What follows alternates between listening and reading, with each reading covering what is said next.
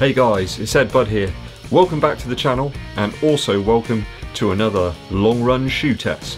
Turning into a bit of a series this one. So today up on the test block for that Sunday long run is the Saucony Endorphin Pro. I felt it was in the shade a little bit this week so I wanted to get it out the box and give it its chance to shine. If you tuned in last week you would have known that I was going to test out the New Balance Beacon 3 this week on the long run, but after 7 miles or 11.2 kilometres in it yesterday, with some faster alternate miles thrown in there, I think around 10 miles is probably going to be the upper limit for this shoe for me. That side, the Beacon still performed admirably well on those fast miles and also when I pulled back the pace for some easier miles in between. More on that Beacon 3 soon where I've ploughed some more miles into it. I need to unlock the secrets of that mystery material midsole. No one seems to understand why they have branded it Fresh Foam X when it's quite clearly Fresh Foam. Anyway, that's another story for another day. So why did I decide on the Endorphin Pro for today's long run? Couple of reasons really. I'd hit 42 miles already by Sunday morning. I wanted a little extra cushion underfoot. Not that I was feeling too beaten up, I just really fancied getting out in some PWRRUN PB once again.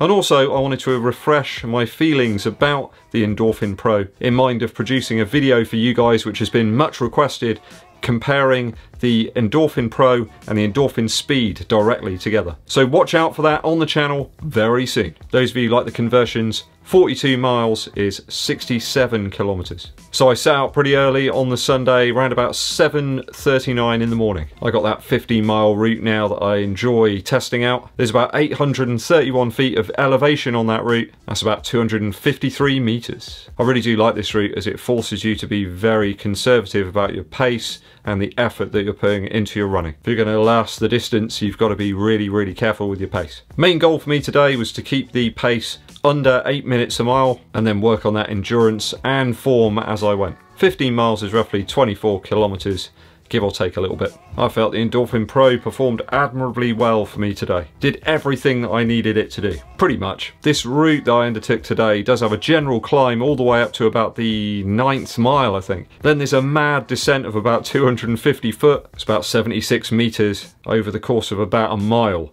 So you have to be really, really cautious as you're going down there. If you fly down, you're undoubtedly going to injure yourself, going to cause some strains here and there. Certainly my right hip started barking at me a little bit going down that descent. It really is quite steep. It is a bit weird because you're really waiting for that downhill where you don't have to put in so much effort where you've been gradually climbing up to that point. But then when you start going down it, you pine for some more uphill because it's just so hard on the legs. Nevertheless, what doesn't beat you makes you stronger. Certainly the SPEEDROLL technology did help a little here though. I made sure to keep the cadence nice and high, constantly reminding myself to keep pumping those arms and not to fly down there too fast. Certainly the traction on the Endorphin Pro and the Endorphin series in general seems to be fantastic. The carbon rubber here performed really well for me today across all the surfaces. Grippy on road, on any loose stones and things. I still felt some decent push off. Never felt like I was sliding around too much. Some of the country lanes I ran on today were just so quiet and empty. I barely saw a soul.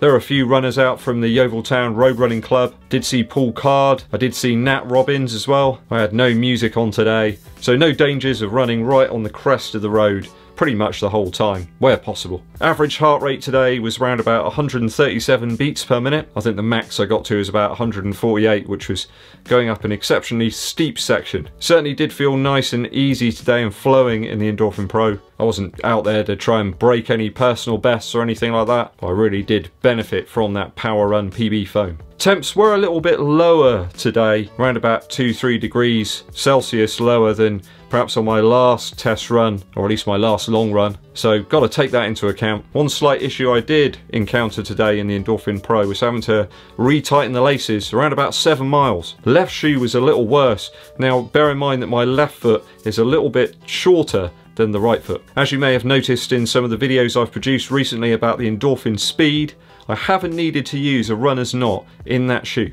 I think it's perhaps due to the more substantial gusseting around the tongue in the Endorphin Speed and that slightly thicker tongue also. Here though, I think I do need to utilise a runner's knot in the Pro. The supplied laces do feel a little bit different between the Pro and the speed. Seems to be a slightly thicker lace used in the speed, and the laces in the Pro don't seem to have quite as much give, strangely. I know Andy, the FOD runner's had a few issues with the laces in the speed, but I've had the same problem but in the Pro. So I retightened them around about 7 miles and I didn't have to bother doing it again. I think if you are looking to get the absolute full power out of the carbon plate and the foam in the Endorphin Pro, then you've got to look at a runner's knot really. Maybe as the foot expanded a little bit towards the latter sections of the run, that's why I didn't have another problem with lacing.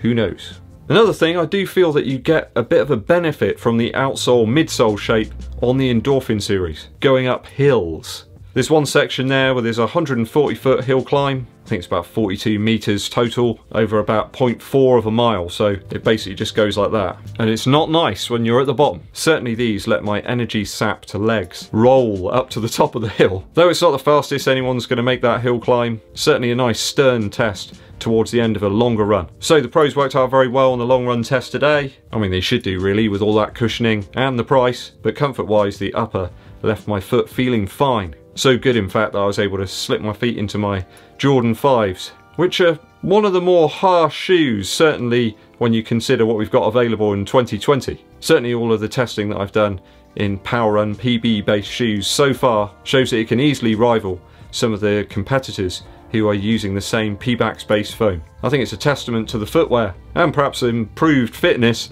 that I still feel like getting out and doing a cheeky three miles or 5k to top up my mileage this week to 60 miles. That's about 96 kilometers. So certainly very successful run today and one that's left me feeling really great. In terms of wear as well, there's barely any wear there at all. Carbon rubber's holding out really well and the midsole's only feeling better and better the more miles I put into it. Next week in the long run test, we will have the Adidas Boston 9 on the blocks. So do tune in next week, how I get on with that one, on that 15 mile effort. If you've got any opinions or views on utilising the Endorphin Speed or Pro over those longer distances, let me know down in the comments. Time for a musical interlude. I've really got back into Tame Impala recently, and I dug out my vinyl copy of Innerspeaker. What an awesome cover that is.